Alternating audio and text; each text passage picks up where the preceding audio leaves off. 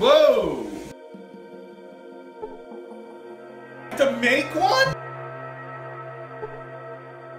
The, uh, the ability to make people forget who they are?